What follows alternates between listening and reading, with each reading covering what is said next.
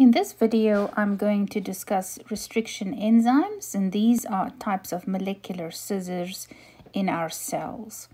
Um, so a restriction enzyme is a specific endonuclease uh, that can cut double-stranded DNA. In other words, it can cut both backbones of the DNA.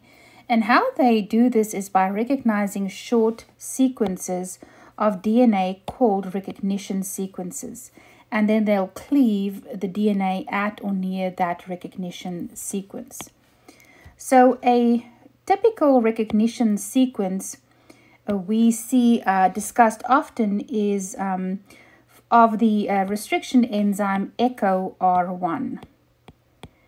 So EcoR1 will cut at a specific restriction sequence, uh, namely GAATT C. And what happens then is that uh, there is the creation of what we call sticky ends on each side then of that cut. We'll then need a glue, a type of glue, of course, uh, in the form of a molecular enzyme, uh, namely ligase, then to glue these sticky ends together uh, when we join um, those DNA fragments together again. So if we know that this type of restriction enzyme cuts at a specific sequence, uh, we can find uh, useful applications for this in, in, in many instances. So just to also clarify something here, the bonds that are broken when these restriction enzymes like EcoR1 cut are the covalent uh, phosphodiester bonds uh, within the backbone and also the hydrogen bonds that are here in between the strands, between the uh, individual nucleotides, the A's, the T's, the C's, and the G's. Now, originally, this type of enzyme, a restriction enzyme, was found in bacteria, and they seem to use this as a type of natural defense mechanism to cut uh, foreign pieces of DNA. Uh, but now we, of course, have can clone these. They're commercially available. For example, if we want to do some experiments with EcoR1 in the laboratory, we can order some EcoR1 and then we can do experiments with those. Um, some of these restriction enzymes do leave blunt ends and others do staggered cuts. Um, in other words, they can do a single stranded cut with a 5' overhang or a 3' overhang. And this is what happens in the case of EcoR1. It creates those sticky ends.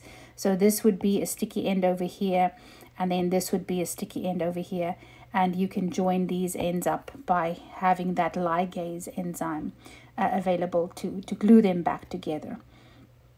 So it's important for molecular biologists to uh, create these unpaired sticky ends and then they can anneal or glue them back together with any complementary sequence in a different organism's um, DNA.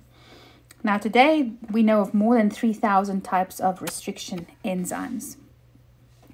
I do want to show you how we read a restriction map. Uh, let me open this one for us. This is an example of a restriction map for the plasmid PGEN 101. Its total length is 20 kb. Uh, let me just remind you that a plasmid is a circular uh, piece of DNA, right? It is um, uh, often found in bacteria, and so so uh, this um, plasmid of course uh, can differ in size right? You can have a small plasmid you can have larger plasmids and we can measure their length uh, by measuring you know their uh, perimeter. How how long are they? Now in the case of um, using a map as a guide we're asking you uh, in this example to follow along and give the number of restriction fragments along with their associated lengths. Give the number of restriction fragments along with their associated lengths that would result from digesting this plasmid with the restriction enzymes EcoR1, BAM-HL, and also a combination of BAM-HL. So what we'll have to do here is uh, uh, look at what KB length we'll end up with if we only have EcoR1 present what KB length we will end up, or maybe multiple lengths will end up if we have only BAM HL, and then uh, if what will we get if both of them are present there in the in the plasmid um, mixture. Okay, so let's do this. Let's look at EcoR1 first. I think I'll use some different colors here to highlight that for you so that you can see that better. So here, of course, is EcoR1. I'm going to use the purple to show you if we measure the length of the plasmid from here, the starting point all along uh, the perimeter, we see that we have a 8 kb plus 6 kb over there, um, plus 2 kb over here, plus 4 kb over there. Uh, so that gives us a total of, um, you count with me, 20 kb, right? 6 plus 6 is 12 plus 8 is 20 kb. So we're literally looking at the uh, different um, uh, lengths of these uh, cuts uh, uh, created here uh, for us, you know, as a guide, but we're adding all of those together. So what I'm saying is the total circumference here of the plasmid, right, is what uh, is 20 kb. So if you only have EcoR1 there, then what will happen, let's erase all of this, is that EcoR1 will come in uh, over here and it will cut. And then if you could imagine, it creates now um, a long piece, right? A long piece of this plasmid. So you're literally, you're opening up this circle and the total length, you know, of this uh, is uh, 20 kb. All right, so next up, let's look at uh, BAM-HL.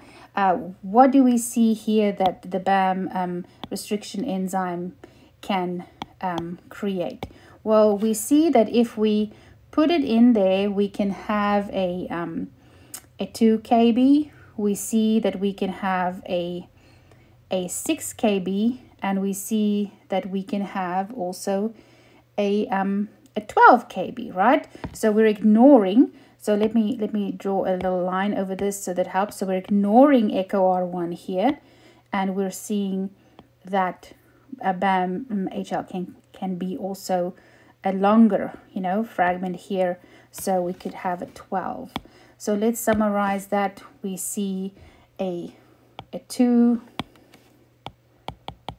we see a 6, and we see a 12. Okay, now what, what would happen if we add both of these restriction enzymes in the mix, both EcoR1 plus the BAM restriction enzyme?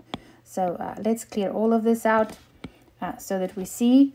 And so uh, we now have to consider that the EcoR1 is present and it is going to um, cut here, right? And we need to consider that the BAM is present and will cut there and there and there. So now we end up with four fragments and those four fragments, um, the, the smallest one is the 2 over here, 2 kb, and then we have a 4 on this side, and there is a 6 over there, kb and lastly we have a longer one an 8 kb so it really is quite simple in how we read a, a plasmid and how it is cut by uh, restriction enzymes. Of course you can uh, add many together and then it makes it a little bit more complicated. But I think the easiest way to start to look at this would be to look at what um, what does it look like if you have just the one um, restriction enzyme present and then you compare it with the other one and then what does it look like if you consider all of them together.